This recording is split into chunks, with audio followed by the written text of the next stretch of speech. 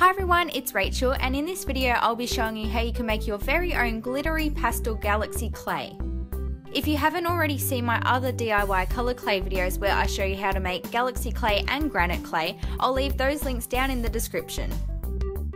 So for this clay you'll be needing some translucent polymer clay. You can use any brand but the one I've chose to use today is by Sculpey. If you have Opal by Premo, that will also work really well too. For those of you who are going to ask if you can use white clay, yes you can but it won't have the same effect and will look more like marbled clay instead of galaxy clay.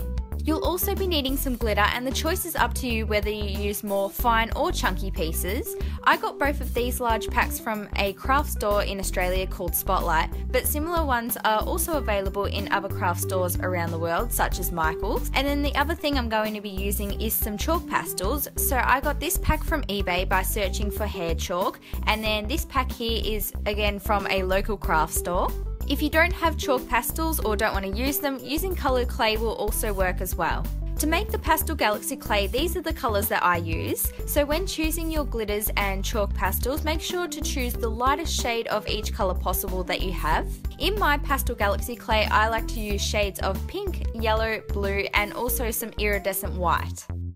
So firstly take a ball of your translucent clay and split it up so that you have enough sections to match the number of colours you'll be using. In my case I went for 5 different sections, I made 3 larger and 2 smaller sizes. I'm starting off with the pink colour by taking one of the larger balls and flattening this down roughly so it's kind of like a net. I'm then adding in some of the pink glitter as well as the fine and chunky iridescent glitters for some extra sparkle. Now you can go ahead and mix all of this into the clay and it is okay if some of the glitter falls out onto your work surface or gets on your fingers because you can just use the clay to pick it all back up.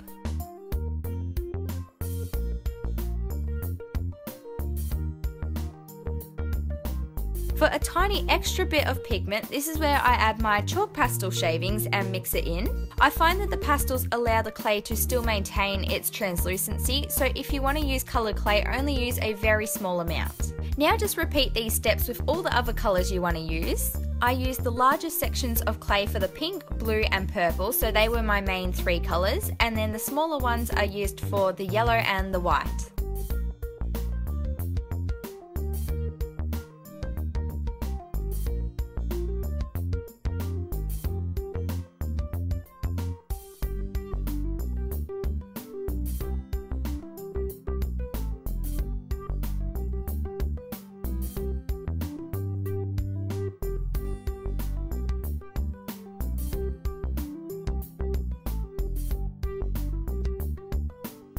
Once you have coloured all of the clay, you can then roll each section into a snake. We'll now go ahead and start mixing the clay together so that it has that swirly galaxy look. To marble the clay, all you have to do is add all of the colours together and then keep rolling, twisting and folding. Repeat these steps just a few times so that it's all nicely swirled and not completely mixed in with each other, otherwise it will turn out like a weird grey colour.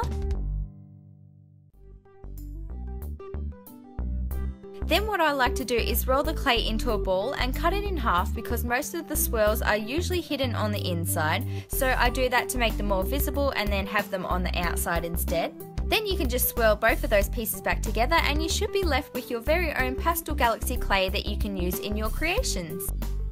This is a small sample I went ahead and baked according to my package's instructions and as you can see the colours do darken up a little.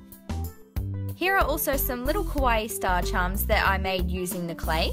And these star charms are actually the reason I'm making this video because I got a lot of requests when I posted a photo of them onto Instagram.